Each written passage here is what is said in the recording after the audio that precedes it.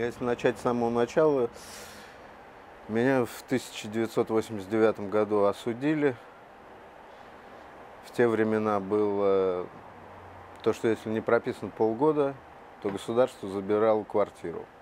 Так как я был прописан после смерти матери один в квартире, а мне срок дали два с половиной года, то по освобождении я вышел в никуда.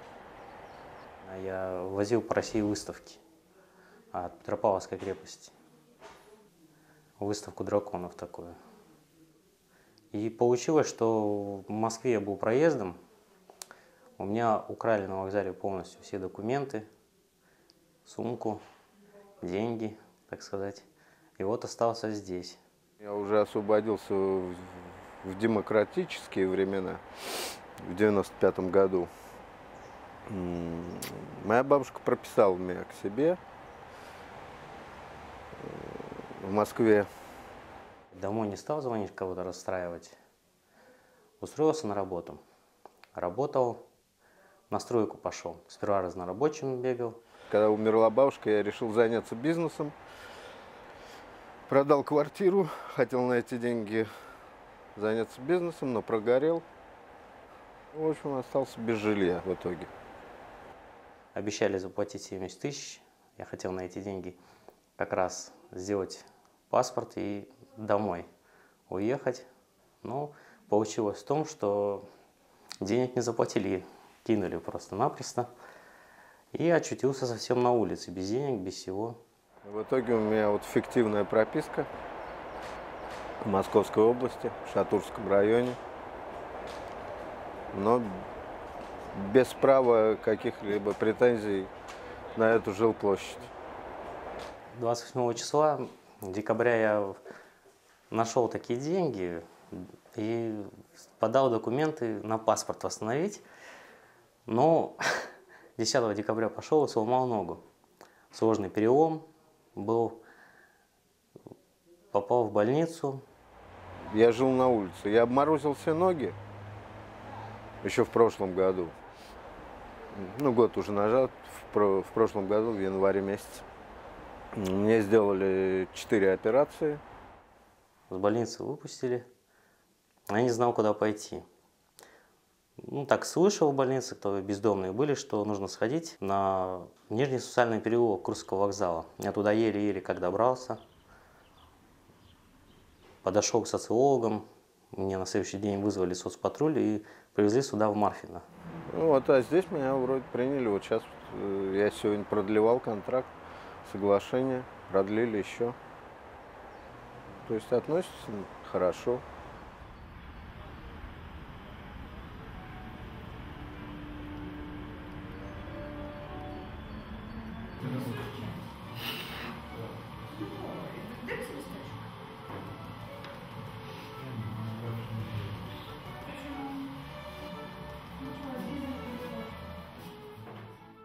У меня мама была иконописец.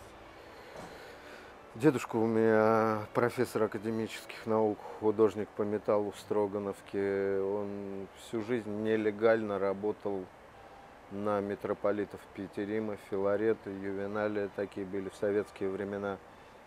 Делал панаги, митры, кресты нательные.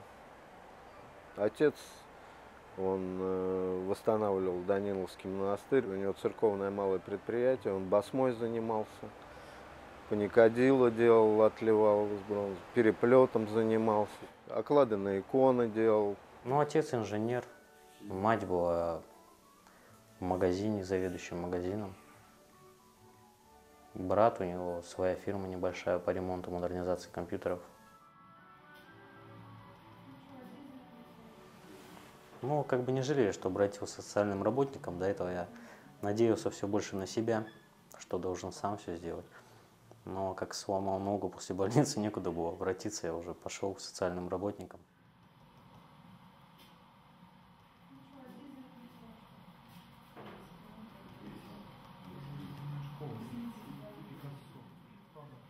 Конечно, такое количество бездомных я не видел ни в одном городе, как в Москве.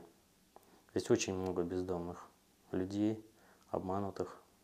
Как бы в небольших городах они попадается на глаза, ну, вертится там пару человек на вокзале. А здесь прямо такими кланами, можно сказать. В принципе, бездомные чем они живут? Собиранием металла, попрошайничеством. Ну, эти как выбросы из магазинов просроченной проду- продукции.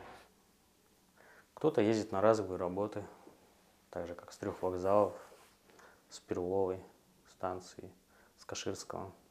Ну, много таких точек, где люди просто там практически живут и уезжают на работу разовую, зарабатывают.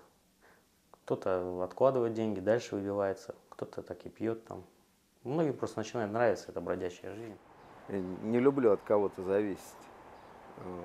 И вот эта вот вседозволенность, ну, бродяжья жизнь. То есть ты никому ничего не должен, тебе никто ничего не должен. Вот она, она а, однодневная такая. Вот это вот, мне это очень нравилось. Это было летом. К зиме я понял, что у меня романтика уже прошла. Я уже понял, что это бедовая.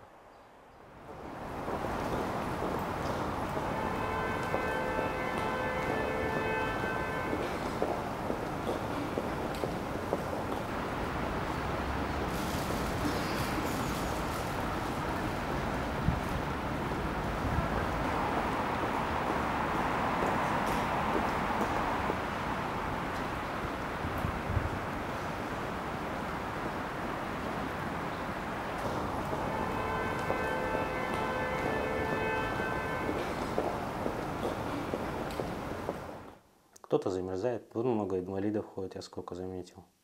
Обмороженные и все такое, много болезней.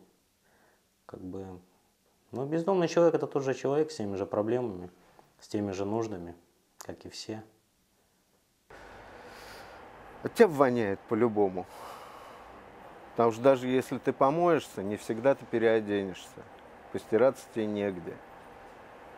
Хорошо, если ты найдешь какую-то одежду, чтобы тебе можно было переодеться после социальной бани. Ночуют, где приходится. Кормят там, где дают. Но в основном все опускают руки многие, начинают выпивать. На улице жить, не выпивая, просто невозможно. Я вот не хочу, допустим, пить, но я не могу уже без этого. Во-первых, зимой холодно. Единственное, чем согреться можно, только алкоголем. Проще договориться с, пьяным населением, чем с таким здравомыслящим и рассуждающим. Вот, например, взять ту же Англию, они вычисляют там, насколько я знаю, 20 фунтов в день дается бездомному человеку. Да, он прекрасно живет на них. Он 5 фунтов у них стоит ночлежка, 5 фунтов э, питания. 10 фунтов у него еще остается на его нужды. Ну и человек ничего не хочет делать просто тогда. Если у нас так сделать, это половина населения захочет быть бездомным.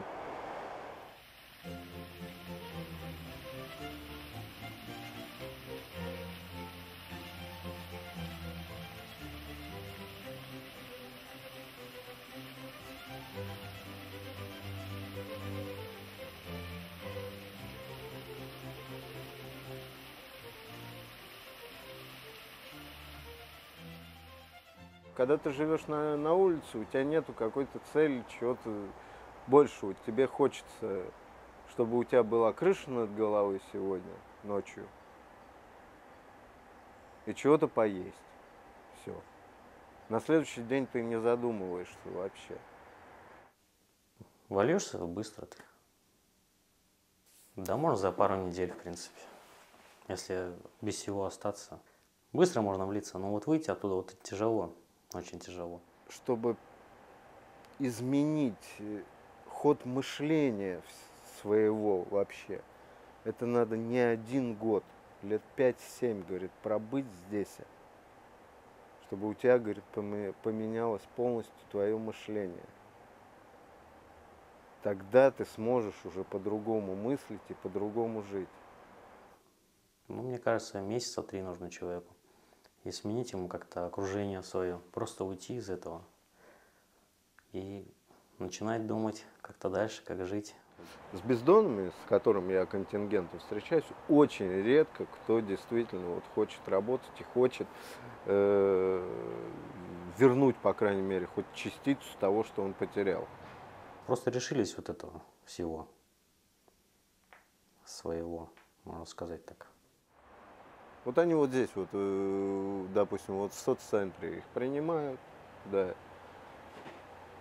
дают какую-то возможность встать на ноги, что делают документы, делают, э, отмывают, очищают его, можно сказать, выводят немножко в, в люди, толчок какой-то дают, а дальше они уже не хотят просто. Его устраивает здесь.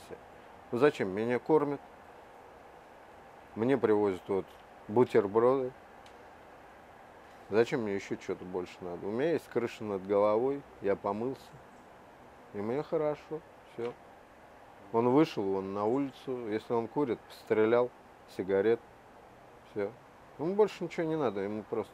Вот, у него нет цели в жизни, у большинства. Дать какую-то работу, там небольшое какое-то жилье, даже этому будут многие рады просто-напросто. Кто захочет из этого выкарабкаться, он выкарабкается. Может из-за того, что мало платят, какой-то контингент действительно из-за этого не хочет работать. Вот как, например, сейчас вот таджики, киргизы, они работают же за копейки, а русский не хочет за это идти работать. Ну, будут мне платить эти 15 тысяч, как они получают. Ну что, я не смогу снять себе никакую квартиру, ничего не смогу. Даже если у меня будет квартира, я не смогу на эти 15 тысяч существовать, потому что мне надо оплачивать квартиру, надо оплачивать все дорогу и так далее и тому подобное. А для них это вот нормально, они счастливы, они живут, потому что они, у них еще хуже, чем у нас.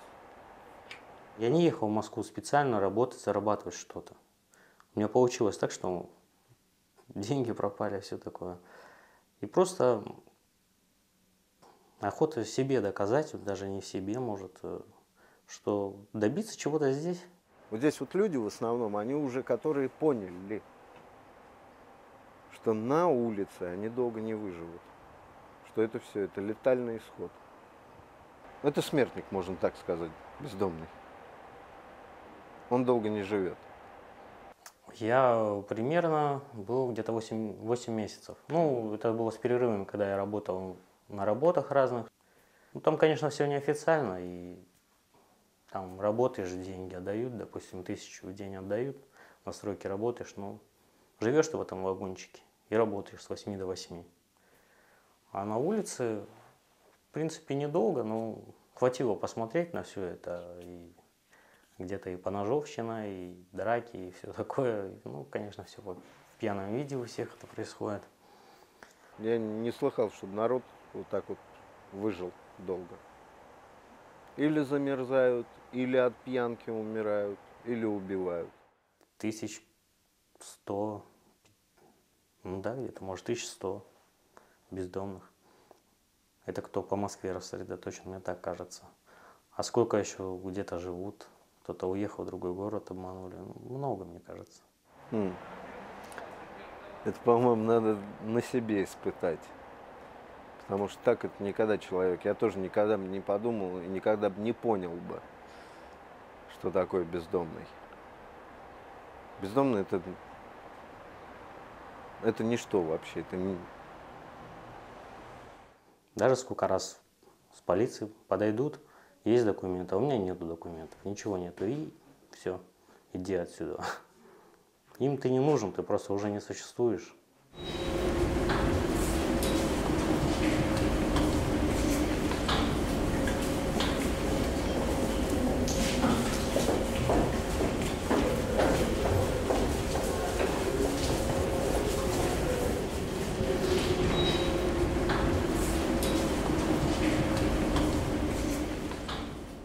Откуда вообще? С Казани. Давно ты здесь? В 2008 И что ты делаешь здесь? что, пью, Ну и как? нормально. А сколько ты еще планируешь вот так жить? Не знаю, жизнь покажет. Кажется, как таковой заботы у государства его в принципе нету. Но это все, эту ответственность они сложили больше всего на какие-то организации, частные, добровольные, которые приносят свои пожертвования, делают вклады, там, те же церкви, что-то еще такое вот. Они как бы помогают, а государство, мне кажется, в этом даже не заинтересовано помогать что-то. Для них человек, если всего решился, он как бы выпал, выпал из самой системы, и он никому не нужен. Мне даже так кажется.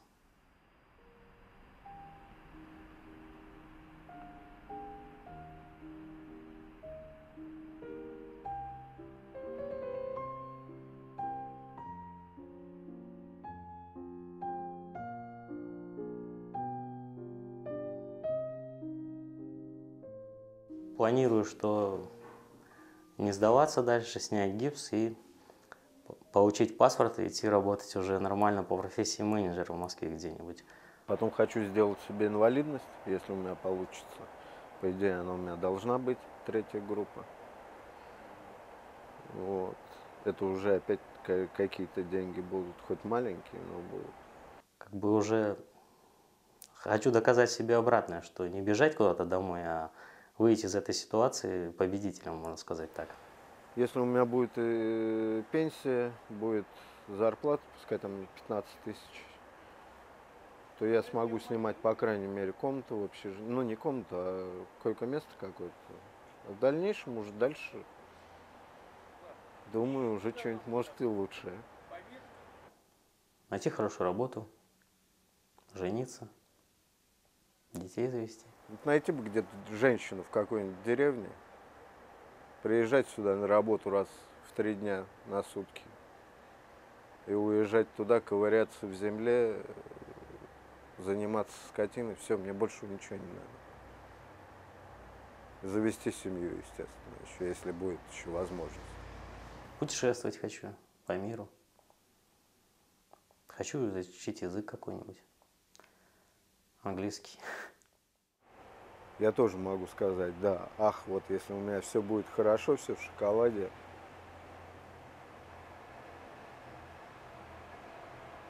так я сам себя довел до такого состояния. Я же никого не виню. У меня же все это было.